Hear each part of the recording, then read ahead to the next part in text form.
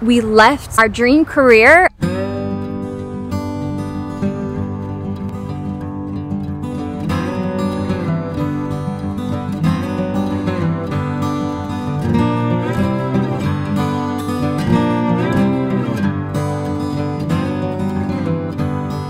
Now, the first few months after my husband and I, Josh, returned back to America, we left our dream career of serving God overseas. We left what we had placed our identity in, which was our career and being a servant of God. We left all that behind and we both struggled when we came back. We both struggled with our identity issues. Well, me personally, I can't speak for my husband, but I struggled with failure. Did I fail God because I couldn't, you know, I couldn't I couldn't rough it out overseas. It broke me down to pieces. So, I'm not strong and I struggled with did I disappoint God in any of this? Did I make him unhappy? Did I displease him? And the answer to all of these questions, of course, is no. I did not make him unhappy. I didn't bring disappointment to my God. And my take on serving the Lord eventually would flip, and the Lord would have me test my motivation in my heart of why I would serve Him. Did I serve Him to gain more of His love? Did I serve Him as a conditional way of getting something from Him? Or did I serve Him out of a heart that was pure and a heart that believed that I was already loved and accepted and valued by my God, by my Father in heaven? And then as a result, I served Him out of love for Him. So all of that was taking place. And the first few months were very, very difficult. They were the hardest I think I've ever experienced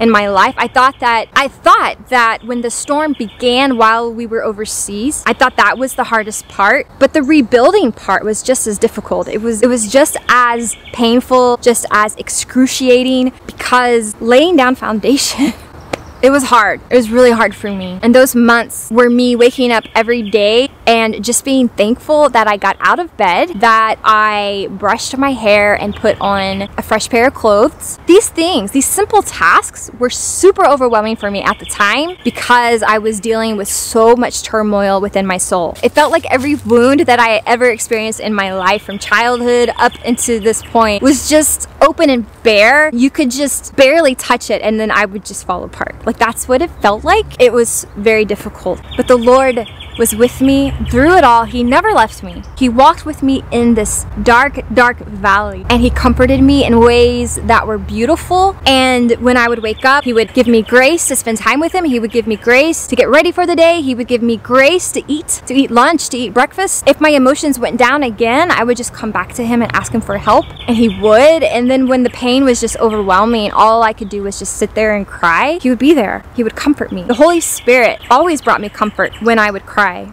And sometimes I couldn't cry. So I would ask the Holy Spirit, Holy Spirit, help me cry to get through this, to get this pain out of me. So much was going on. I couldn't even put vocabulary to what was going on within me. I just knew God was doing something. I knew that there was a work in progress and I trusted it, but it wasn't easy. The counselor was very helpful. She helped me understand unhealthy relationships versus healthy relationships. She helped me understand boundary setting. She gave me all of these tools that were very helpful and that I could apply on a day to day basis. But I still struggled with the fact that my brain had failed me.